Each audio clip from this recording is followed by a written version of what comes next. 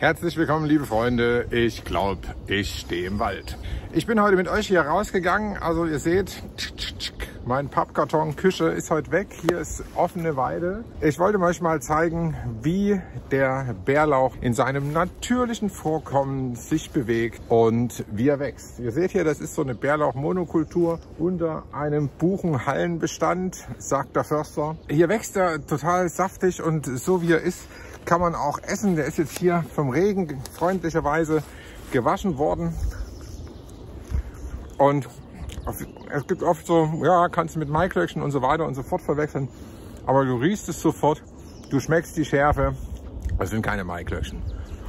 Ich wollte heute mit euch diese frischen Blätter in ein Bärlauchpesto verwandeln. Und zwar ein veganes Bärlauchpesto ohne Käse, ohne Pecorino, ohne Parmesan, so wie es viele Rezepte vorsehen, sondern ich nehme statt Pinienkerne nehme ich Cashewnüsse und gebe dann Hefeflocken ran und damit zum Beispiel eben genau diese Mischung Cashewkerne und Hefeflocken oft in veganen Gerichten als Käseersatz nehmen kann, zum Beispiel auch zum Pizza überbacken oder sowas, mache ich das mit meinem Pesto auch so. Das heißt, diese geile Mischung aus Hefe und Cashewkern ergibt dann diesen feinen käsigen, Parmesan-ähnlichen Geschmack.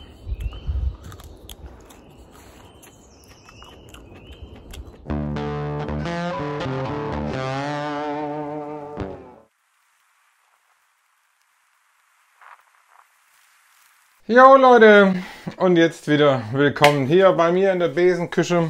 Ich habe jetzt hier einen Haufen Sachen vorbereitet. Hier ist unser Bärlauch vor noch im Wald. Heute jetzt hier trocken und geschleudert. Dann habe ich hier äh, geröstete Cashews. Die lasse ich jetzt ein bisschen abkühlen, weil oft ist es mir schon so gegangen, dass ich die Cashews frisch geröstet habe und dann habe ich die in die, äh, man glaubt es doch nicht, sehr zarten Bärlauchblätter. Die sind erstmal, wenn man reinbeißt, hat man irgendwie was zu beißen, aber sobald die mit Temperatur in Berührung kommen, also warmen Cashewkern, ist es vorbei. Dann verlieren die ihren Grip werden matschig, gammeln dann auch schneller. Also das sind im Prinzip unsere Zutaten. Es ist jetzt gar kein großes Hexenwerk. Wir haben gutes Göttinger Salinsalz. Wir haben ein leckeres Olivenöl und ein bisschen Pfeffer. Als allererstes müssen wir jetzt mal den Bärlauch noch ein bisschen klein häckseln, dann püriere ich den. Fehler, den man oft auch gerne macht, ist das Salz zum Beispiel beim Bärlauch in der großen Schüssel schon vorher reinzumachen, also gleich zu Anfang reinzumachen, was zu echt versalzenem Bärlauchpesto führen kann, dass die Menschen nur noch aus Höflichkeit essen und man es aber dann trotzdem nicht wegschmeißt, sondern man kann es dann immer so esslöffelweise auch an andere Soßen mit ranmachen. Also, wenn man aber reines Bärlauchpesto will, dann sollte man mit Salz ganz zum Schluss abschmecken. Und es ist auch immer, es gibt ganz unterschiedliche Bärlauchpestos. Es gibt auch welche, die heißen Bärlauchpesto. Das ist im Prinzip Bärlauchblätter mit Öl aufgegossen.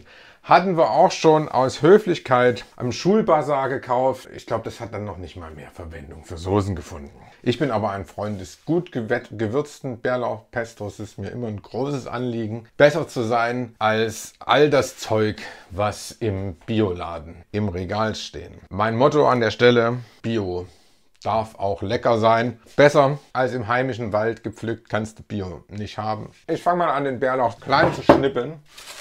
Ja, wir haben hier mir einen japanischen Dolch vorbereitet.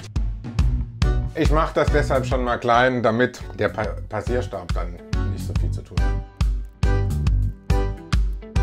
Viele Menschen kaufen ja Bio oder eben nicht Bio deshalb, weil sie denken, nö, das anderen Lebensmittel sind ja auch gute Lebensmittel. Das ist im Prinzip Bio von der Seite betrachtet, was es für mich persönlich bedeutet, was ich in mich selber reintue. Was dabei oft außer Acht gelassen wird und meines Erachtens auch zu wenig kommuniziert, ist, dass Bio am Ende auch bedeutet, wo kommt es her, wie wird es hergestellt, wie werden Pflanzen, Tiere, Boden und so weiter behandelt, wie, welche Arbeitsbedingungen haben die Leute, die diese Sachen bearbeiten, verarbeiten, anbauen und so weiter und so fort. Das ist ganz wichtig und, und ist auch wichtig deshalb zu wissen, weil es natürlich ganz verschiedene Bio-Siegel gibt gibt und die Bio-EU-Norm eigentlich sowas wie den kleinsten gemeinsamen Nenner der ganzen Lebensmittel hat und dass es durchaus Höfe gibt in dieser Welt, auf dieser Welt, die überhaupt kein Biosiegel haben und die ihre Produkte, Tiere oder Kartoffeln, was auch immer, direkt auf dem Markt verkaufen und das wirklich in Familien, Heimarbeit anbauen, die sagen, na,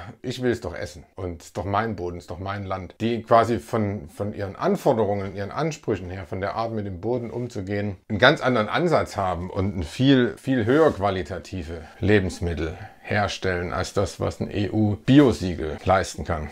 Abonniere meinen Kanal! Wie gesagt, besser als im Wald kriegst es kaum. Und zugleich kannst du auch dort, kann Riesensauerei auf, auf den Wäldern rund um den Wald passiert sein. Und du weißt auch nicht, was du isst. So. Das ist ja das, was viele aus der Bioindustrie beklagen, dass du überhaupt nichts dagegen machen kannst, dass um dich herum im Prinzip Intensivlandwirtschaft mit hohen chemischen Einträgen passiert und du deshalb dein eigenes Zeug downgegradet kriegst, obwohl du dir die größte Mühe gegeben hast.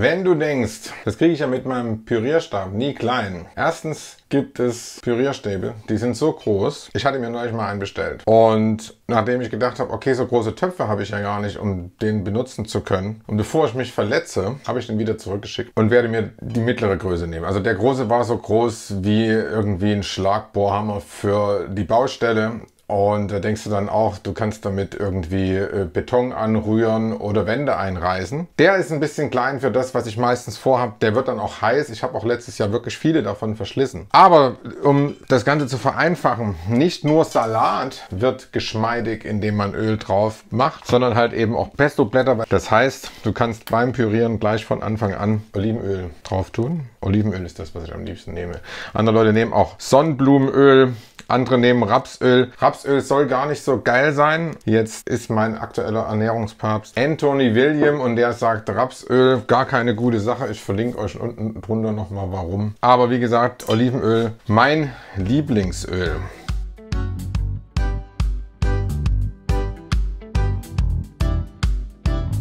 Also ihr seht jetzt hier, warum man das nicht am Anfang gleich salzen sollte, wie ich oft schmerzhaft trotzdem gemacht habe. Weil das wird echt wenig, ne? wenn das püriert ist, das geht dahin. Von der großen Schüssel in die kleine. Und jetzt kommen wir im Prinzip eigentlich auch schon an den Punkt, wo so das Abschmecken beginnt. Und ich bin da überhaupt niemand, der irgendwie immer wieder das gleiche Rezept wiederholt, sondern ich mache das einfach so lange, bis es mir schmeckt. Und beim Bärlauchpesto ist das so, auch wieder ein Grund, es ist jetzt wenig, ich habe hier ein paar Knoblauchzehen dazugelegt. Bärlauchpesto verliert, wenn das ein paar Tage, Wochen im Glas im Kühlschrank steht, verliert das ein wenig seine Schärfe also diese ätherischen Öle, das Aroma, weswegen ich, ich meine, das ist jetzt der, der erste, den ich dieses Jahr mache, von daher wird er wahrscheinlich schneller gegessen, als man gucken kann. Deshalb mache ich jetzt hier nur eine Knoblauchzehe ran.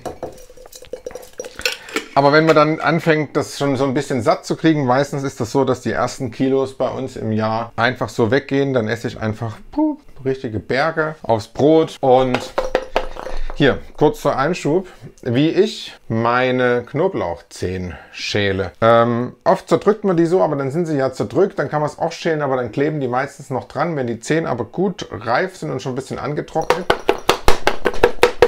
dann haue ich die so im Glas rum und dann sind die wie durch ein Wunder geschält. Guckt hier. Siehst du das? Geschält. Zack. Schale weg. Knoblauch. Zehe. Fertig. So sieht das aus. Geil, oder? Kannst du nämlich auch was lernen. Das sind nämlich Bildungsfernsehen hier. Ja, und so ist das halt.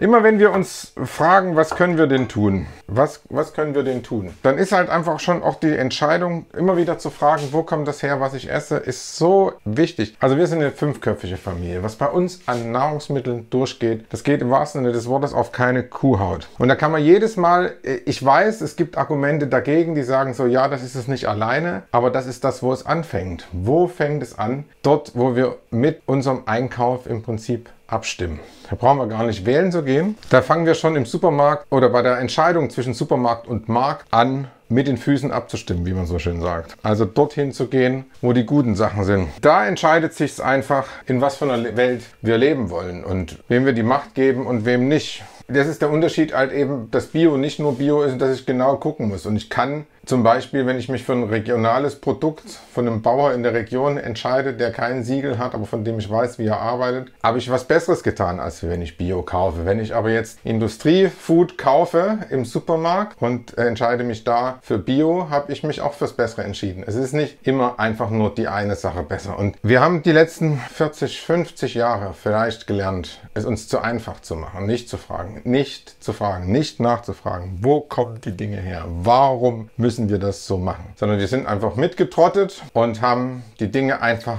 mitgemacht und haben nicht gefragt. Und bei so kleinen Sachen wie bei deinem Knoblauch, deinen Tomaten, deinen Kartoffeln fängt das an. Und wenn du dir das mal angewöhnt hast zu fragen, warum die Dinge so sind, dann kannst du zum Beispiel auch deinen Energieversorger fragen, warum die Dinge so sind und den wechseln. Und äh, gucken, ob du dir wirklich dieses Jahr ein Leasing-Auto holst oder ob du die Karre abkaufst und noch sechs Jahre fährst und dich da auch nicht kirre machen lässt, weil ein bezahlter Diesel der zehn Jahre gefahren wird, immer noch ökologischer ist, als wenn du deinen drei Jahre alten Diesel jetzt verschrottest und dir dafür einen Tesla kaufst. So, es macht keinen Sinn, gute neue Dinge zu verschrotten, um andere teure neue Dinge zu kaufen.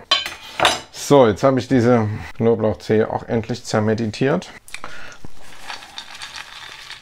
Ich habe jetzt wirklich wieder Cashews geröstet für den großen Eimer. Bärlauch, Blätter, das ist gar nicht nötig, die hebe ich jetzt auf. Ich habe noch im Rucksack genug Bärlauch, ich dachte, das reicht. Es ist wie immer so, die zermörsete, das zermörsete Blatt ist einfach viel kleiner und weniger als das große, voluminöse. Jetzt können wir Salz nehmen. Wie gesagt, ich bin, ich mag salzig. Vielleicht bin ich deshalb so ein aufbrausender Typ. Hefeflocken. Die einen verpönen sie, weil sie ein Geschmacksverstärker sind. Ich mag sie gern. Ob sie zum Beispiel für Darm und alles wirklich sehr gesund sind, sei dahingestellt. Hier geht es mir darum, Bärlauch ist so gesund, da kann ruhig sowas dran sein. Und sie machen halt einfach einen geilen Geschmack in Verbindung mit den Cashewkernen. Den Bärlauch hat uns Mutter Natur, der liebe Gott, wer immer es für dich ist, extra im Frühjahr geschickt, weil er extrem viel gute, komplexe Vitamine hat. Vitamin C, aber auch ganz viel ätherische Öle. Das merkt man an der Schärfe. So Rettich ähnlich oder halt Knoblauch ähnlich. Man sollte gerade jetzt zu der Zeit im Frühjahr ganz viel davon zu sich nehmen, weil er dem Darm hilft, sich zu reinigen. Das heißt, früher haben die Menschen ganz viel Bärlauch gegessen. Das sollten sie auch heute noch, weil früher haben haben sie dann äh, im Laufe des Winters immer mehr Sachen zu sich genommen, die im Prinzip kritisch waren in ihrem frischen Zustand. Und wenn dann das letzte eingekochte, verwurmte äh, gegessen wurde, dann hatte man dann auch irgendwie auch Parasiten im Körper. Deshalb ist große Mengen Bärlauch zu sich nehmen nach dem Winter im Prinzip genau das Ding, um dich schön zu reinigen. Das ist auch von der Frische her, es knallt einfach direkt. Ne? Das ist so scharf, das ist so würzig, ist ähnlich dem Knoblauch. Irgendwo bei Knoblauch und Schnittlauch, ich finde halt einfach, dass der Bärlauch ein ganzes Stück komplexer schmeckt als jeder andere Lauch. Fein einfach. Und gleichzeitig ist auch der Bärlauch was. Das kann ich zum Beispiel nicht übers ganze Jahr essen, weil der hängt mir irgendwann zum Hals raus. Der Knoblauch geht immer. Aber irgendwie scheint es so zu sein, dass dieser Reinigungszustand an den Geschmack gekoppelt ist. Und wenn der Körper irgendwann sagt, gut, ich habe von diesen äh, komplexen Stoffen, von den Vitaminen, von der Reinigung, von den ätherischen Ölen genug, dann sagt bei mir der Appetit, bäh, geh mir weg mit Bärlauch. So.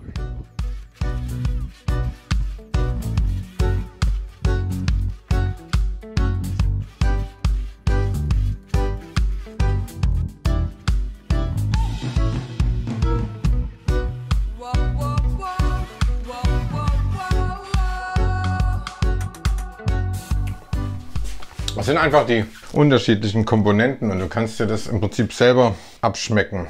Ja, was Salz angeht. Du kannst äh, statt Cashews kannst du Walnüsse nehmen. Du kannst sogar Erdnüsse nehmen. Du kannst Sonnenblumenkerne nehmen.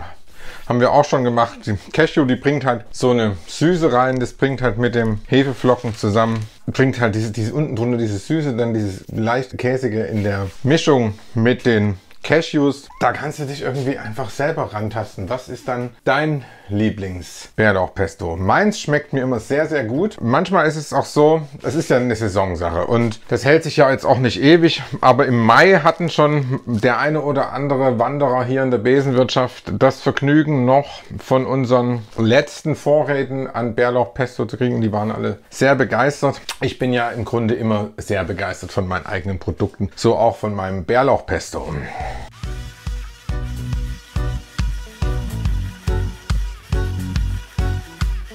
Wenn es schnell ist, brauchst du ja nicht so viel Öl. Wenn du es länger aufheben willst, in Gläser füllst, kühl stellst, dann ist ein bisschen mehr Öl angeraten. Also je mehr, das siehst du ja zum Beispiel, wenn du getrocknete Tomaten in Öl einlegst, da brauchst du ja kein Konservierungsmittel. Und dann ist es aber angeraten, dass dann obendrauf so ein bisschen Öl steht. Dann halten sich die Dinge auch sehr lange.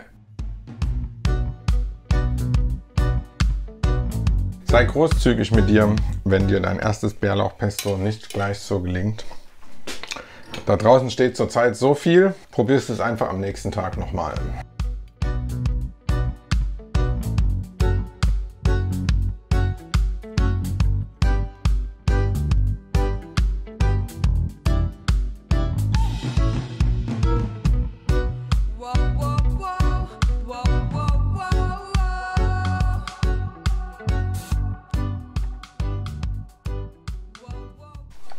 Sieht das dann aus, wenn es fertig ist. Obendrauf schwimmt jetzt ein kleiner Olivenölfilm, den habe ich künstlich hinzugefügt.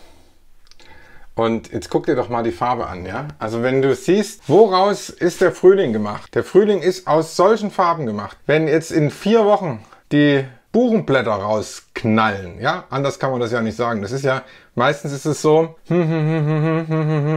Knospen werden dicker, passiert nichts, dann kommt ein föhniges Wochenende und auf einmal so pratz, und dann platzen die Knospen auf und auf einmal BAM ist alles grün und das sieht dann immer so aus. Und der Bärlauch ist die, der, die Vorhut. Er gibt die Farbe. Das ist so geil. Also man möchte ja im Prinzip Expressionist sein, ja? Und dann seinen Pinsel in dieses Zeug reintauchen und Bärlauchbilder malen. Das ist das, was man will, wenn der Frühling kommt. Leute, ich und der Bärlauch sagen Tschüss. Abonnier meinen